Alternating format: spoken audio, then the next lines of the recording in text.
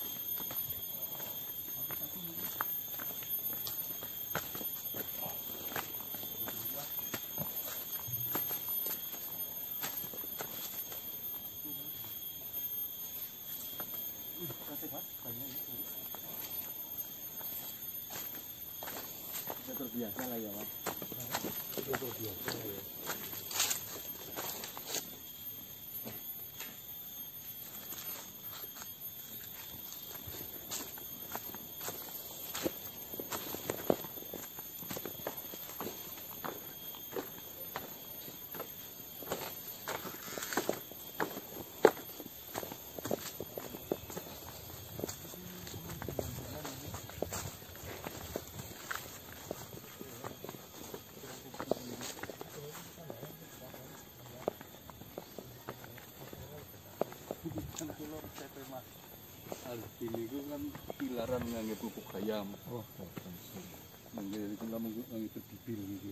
sebabnya kan sebabnya yang pekane kira Oh, ngangge NPK. mereka mau bukan mau Lah niku bedane anger Mas Arfi niku NPK pantangan terus itu terus pecah-pecah. masalahnya si Ardi itu ya si? Arfi Ardi itu kan mau ngecek Oh, itu ora BNP. Oh, di NPK ini kan apa? mawon sing 925 25 profesional Tunas airnya bisa kayak kan sampai kilo puluh. Ini Arfi ini oh, ini bagus banget ini. Kan. 9 bulan usia pohonnya. Nggih. Terus sih nggih ngarani ngoten niku nggih betul. Sampeyan ke mawon nggih. 925 Sembilan dua lima tujuh lima itu di WA mawon. profesional Ceplalen nggih. Terusan ini tapi anu PV ne kapure kirang kata nih temblek ayamnya lebetakan nggih. kapure kirang Udah macam ini di sini ini nggih. Untuk penting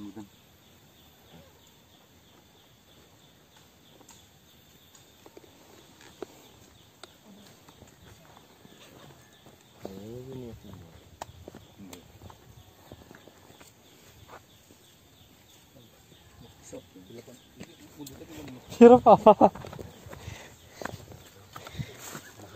Di toko di toko saya cuma 8 ribu. Persis seperti ini.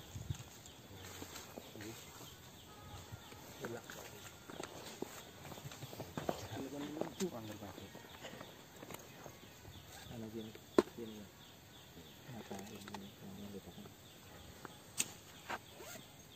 Sami lah kali ini persis IGM. oke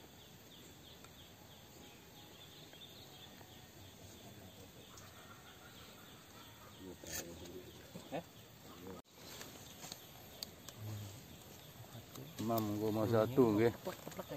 Nah, lu itu kepenak mas kali. Arfi. Bok niliki mangke enten niku. Jadi yang ini rencana saya pakai kambing. Nah, yang lain pakai ini tetap omayor Nggih. ini nggih nggih nggih. Ini keritingnya sebabnya kenapa? kutu Kutu apa? kutu daun Padahal wis ora diwehi wis iku e. Berarti Obatnya apa? ya nggone misosin bisa. Ada konstan eh, konstan. Spontan spontan untuk jaga lalat buah.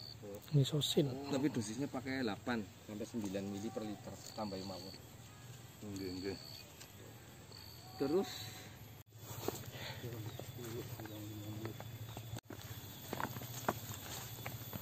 Ya itulah tadi di kebun Gunan 139 pohon dengan luas 3000 meter persegi. Kondisi kalau misalnya pupuk kandangnya terlalu sedikit ya, karena tadi eh, dipupuk dua kali dosisnya baru satu kandi kotoran kambing untuk tiga pohon ya masih sangat kurang saya tadi rekomendasikan untuk eh, menambah pupuk ayam satu pohon satu kandi. Brili Agung masih bersama Brili Agung Oke tadi kita cinta cari kitab suci berjalan ke barat kok.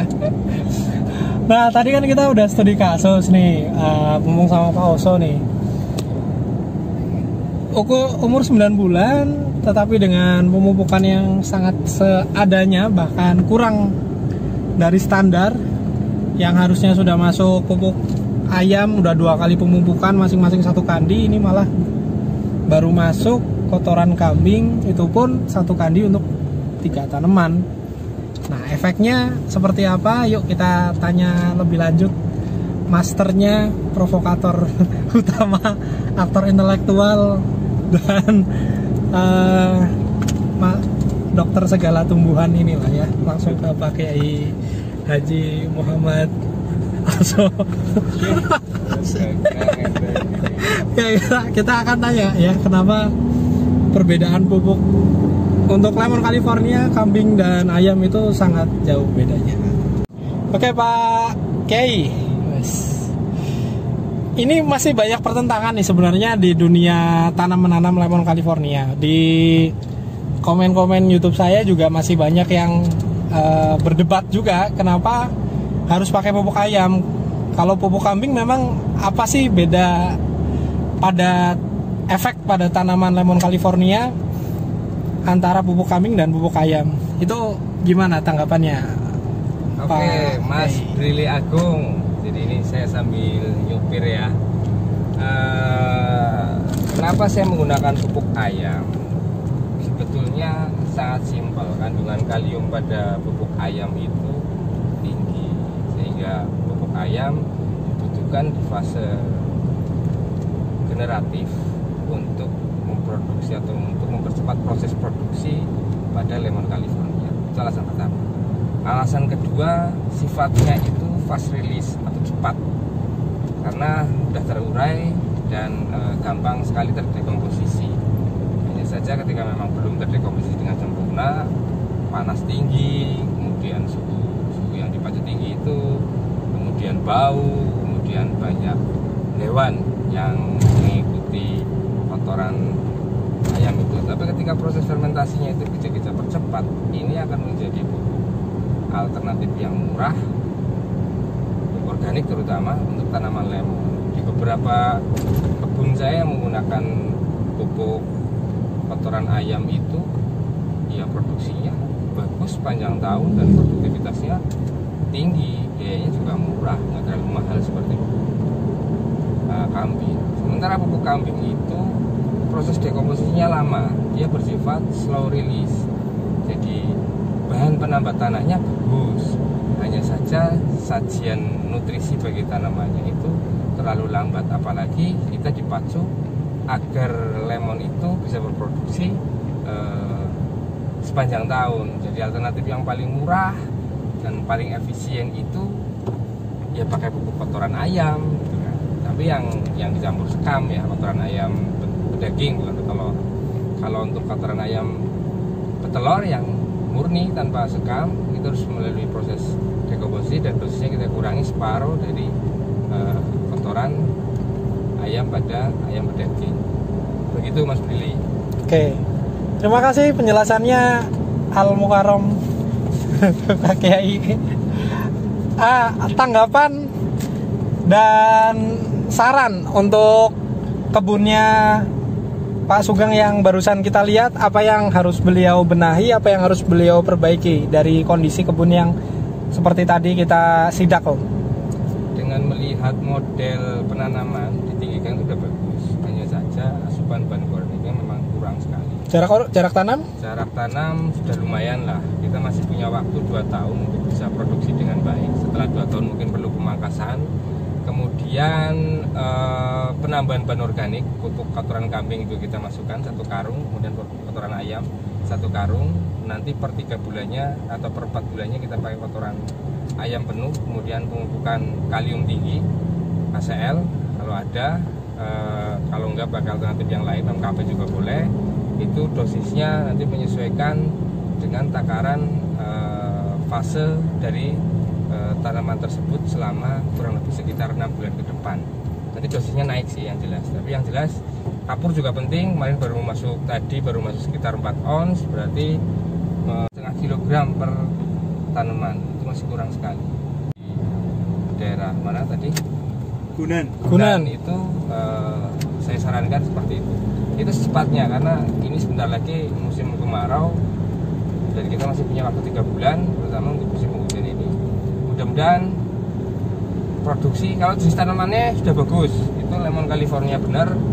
Eh, tidak perlu ada penjarangan juga dan tidak ada perlu ada pembuangan juga. Saya kira eh, produksi akan bisa optimal. Hanya saja pencahayaan yang kurang memang di sebagian eh, tanaman-tanaman itu. Nanti itu bisa dibuang naungan-naungannya nanti di pinggir-pinggirnya bisa. Begitu Mas Beli ya Oke, terima kasih penjelasannya dari expert kita pada pagi hari ini ya. Jadi teman-teman itu konten kita pada hari ini dan mohon doanya ini semoga perjalanan lancar sampai Banjarnegara untuk kita tengok satu bidang lahan lagi yang ya semoga Dil dan Mas Rida selaku Sultan di belakang saya ini berkenan untuk menggarap lahan tersebut sih. Jadi produktivitasnya bisa kembali meningkat. Terima kasih. Jangan lupa klik like, comment, and subscribe.